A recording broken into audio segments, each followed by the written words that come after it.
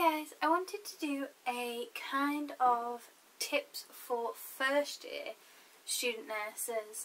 As I was thinking the other day, um, I am about six months now away from qualifying as an actual registered nurse, which is absolutely terrifying to me at this point.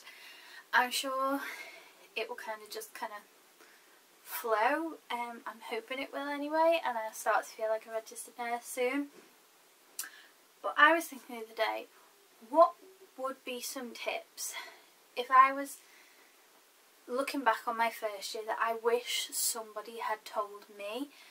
Um, I didn't really know anyone else that was already a student nurse at this when I first started and I couldn't really find anyone that was doing these types of videos, particularly in the UK. Hence why I started my blog, hence why I started this YouTube channel. So, number one, above anything else I tell you, enjoy the excitement. You're only going to do your nurse training once in your life. You're only going to be a student nurse once in your life. So I know it's an extremely hard course to do. It's an extremely hard three years to do. But enjoy the excitement. Enjoy that excitement of picking up your uniforms, of getting fitted for them. Enjoy Freshers Week. Enjoy going to your placement for the first time. Most of all, just enjoy being on your course. Enjoy every aspect of it because I know there will become times when you will dread going to uni, you will dread going to placement. It's just the way it is. Number two, read, read and read. Um, if there's anything I can stress is just to read and read around things. Read up on things you're not sure of. Read up on your placement areas. Just read things. But what I will say is you don't just have to go to academic journals, textbooks, things like that to learn about your areas. Utilise Google, utilise videos, YouTube, blogs. People will write about things, not just everyday things. People will write about nursing. So you will find great accounts. You'll find funny accounts. You'll find accounts of people that maybe haven't enjoyed something. But it breaks up your research into easier chunks because you're reading someone's experiences or you're reading something that's not kind of black and white and cold, which is much easier. Number three, get the basics down. Get your fob watch, get, an anatomy and physiology book, and get black pens. If you don't get anything else, just get them three and you will be fine. Honestly, do not stress yourself about getting every single book that your lecturer says.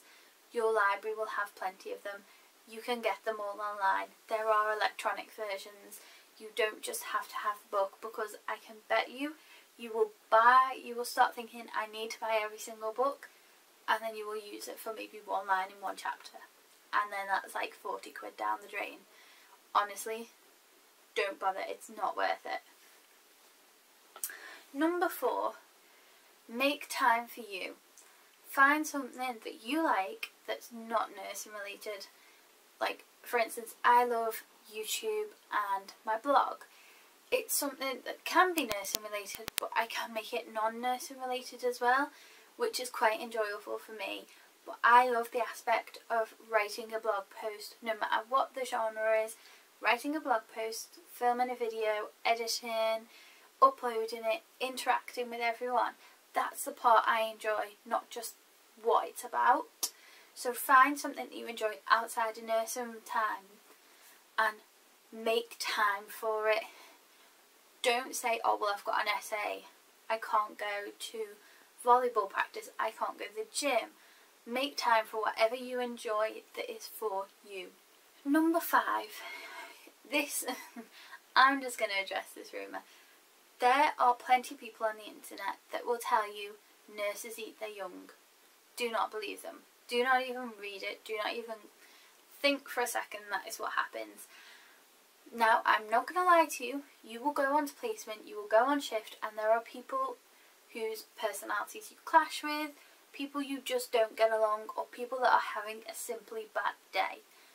It's not that people eat their young. Everyone wants you to succeed your lecturers, your family, your friends, your mentors, the people you work with, everyone wants you to do well and everyone will look after you. I've not met one person in my three years that has ever ate their young. Sure, I've met plenty of grumpy people, people that have had a bad day, or people I've personally just not gotten along with because our personalities are two different things. So don't believe nurses eat their young for a second. Number six, get organised. Get straight away, before you even start, get yourself a planner. Get yourself a wall calendar. Get somewhere that you can write down when your assignments are due, when you're on shift, all them little things when you've got lectures because your lectures might not be at the same time every single day. They might vary, they might change location, they could be in completely different areas. If you get yourself a planner or a wall calendar, somewhere you can write all this information down, you become so much more organised and you can spend more time on you if that makes sense. So if you get yourself really organised, you can lay out when you want to get essays done, you can plan them out in advance, you can get it done and you can have more time for you. You can have more time to have like the weekend off or have an evening off or to even spend your Christmas off.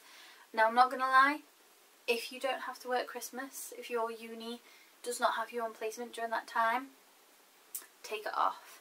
Believe me, you will thank me for it later. Number seven, pace yourself. If I tell you anything else and you don't listen to me, pace yourself because you will burn out super fast and it you don't have to know everything straight away.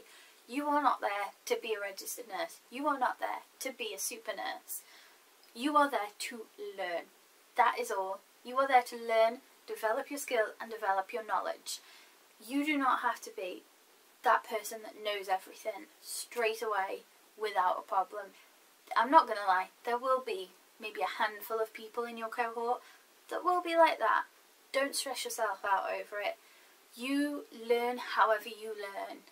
And if you don't pick things up straight away, you need to work on it a little bit more. That's fine. That's what you are there for. Just don't stress out about it. To go with that, number eight, if this one's so, so important, but lighten up on yourself. Don't be so hard if you don't get straight A or don't be so hard if you don't know an answer straight away as soon as you're asked it. There's no point. It's just stressing for the sake of stressing. And there's honestly no point in stressing yourself out over not knowing something straight away. If you're so harsh on yourself, you're going to become unrealistic. You're going to set unrealistic goals for yourself. And that's not healthy. Know what you can achieve and what you're suitable to achieve and you need to think realistically. And what I will say is if you're really struggling with this one, you're really being really harsh on yourself, talk to your lecturers. You will have an advisor in university. You will have people on placement that you can talk to. You've got your PEFs, you've got fellow students. Talk to people. If you don't believe me with anything else, talk to people, otherwise you will go mad. Make sure you give yourself a break I I'm not going to lie, I've done this one. I've worked for 10 hours straight on my dissertation. I've worked for 6 hours studying for an exam. It's hard, particularly if you're quite bad with distractions. It's quite easy to get into the habit of just working straight, stopping maybe for a sandwich, lunch and just working straight through. Try not to do that to yourself you need to take breaks. You can't work seven days a week. It's not human to do that. It's not human to work 24 hours a day. Be realistic. Organise yourself. Another tip. Organise yourself. Set yourself time limits. And take yourself a break. If you don't want to stop every hour, work for a couple of hours, take an hour off. Work for a couple of hours, stop for dinner, stop for the evening. It's easy to do, just remind yourself. I'm not kidding when I say I have to set reminders in my phone to tell me to take a break, otherwise I will just constantly keep going, keep going, keep going. And that one is also vitally important on placement. I'm not going to lie, there are days when you feel like you're rushed off your feet and you don't want to go on your break because you have no time, like it's constant. Make sure you are supernumerary. Make sure you go on your break. Another tip to add is get okay and comfortable asking people questions and also get comfortable with the feeling that it is okay to say you do not know when someone asks you a question but if you're not comfortable asking these questions it's very very unsafe. Like if someone says to you oh do you know how to place a catheter? Do you know how to change a dressing? If you don't know how to do that and you don't ask or worse you don't speak up about it that's really really dangerous. And make sure you look for opportunities everywhere. They will be a bazillion of them when you're in university it's a perfect example when you're on placement. Look for opportunities that might complement your placement and your learning. So if you are in a diabetes ward spoke out or go on a day visit with a diabetes nurse, spoke out to all these different areas and it'll help you get a more rounded view of what's going on in that area which is super super helpful. It's also really good for if you're not entirely sure what you want to do when you qualify, spoking out to different areas and getting a wide variety of experiences can be really really helpful. Chart everything. I will always remember what one of my lecturers told me and it's if you didn't do it, it didn't happen. So if you haven't written it down, you haven't done it. Um, and this is particularly poignant in things like pressure sores. If you didn't turn someone, if you didn't write down that you turned someone, you've never turned them. So it could be six hours in the time brackets that if you if someone say for instance has written down that they turned someone at 4am and then someone didn't write it down till 10am you could have turned them several times during that period but because nobody's written it down it's not happened so just remember this is the thing I always always always remember is to write everything down and I try and write it down as soon as it's happened because there can be times when people leave chart until like the very end and they're like scrawling with smoke coming off the page. Just write it down as you go along. It's not going to hurt you, it's going to help you. You are not going to always get high marks. It's an incredibly tough degree to do. You have to have a certain level of brains and intelligence to do it. I'm not going to lie, it's not the easiest thing to do in the world. And not everyone can work, like, go through it. So, well done you for even getting this far.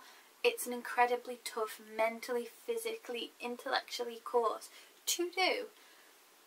And you need to be realistic. There are times when I, I'm not kidding, I have just passed an exam or just passed an assignment. And there are times when I've got like top marks, I've got firsts. It really does just vary. Don't stress yourself out on it. It's not worth it. And finally, for any first years that are yet to start or anyone that's looking to get into nursing, I'm going to say it to you now, it's not like it's on telly.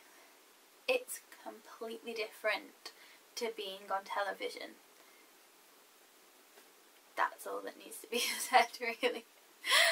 So I hope you guys enjoyed and I will see you next time. Bye guys!